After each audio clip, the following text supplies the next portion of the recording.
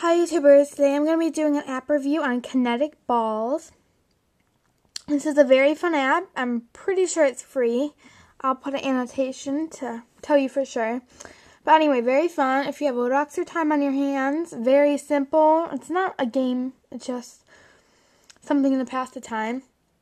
So here we have the basic kinetic balls. Oops. And you can see them just bouncing back and forth like kinetic balls do if you've ever seen kinetic balls before. And using oh shoot, this button, we can change the ball skins. As you can tell, this is basketball. And we have football. I think I skipped over one, but oh well. And we have planets. And we have flowers. And we have soccer balls. And we have these, whatever you call them. Uh, we have coconuts. And alien dudes. And just this kind of generic advertising one.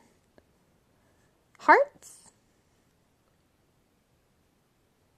And these ding bobbers. And we have these, I don't even know what they are. We have bowling balls, beach balls, and we have this Kid Zone app, Ladybug, Magnet, Coin, Kite, and House, and fish in the background, spike balls, and that brings us back to the beginning. So definitely get this app in the App Store, great way to pass the time.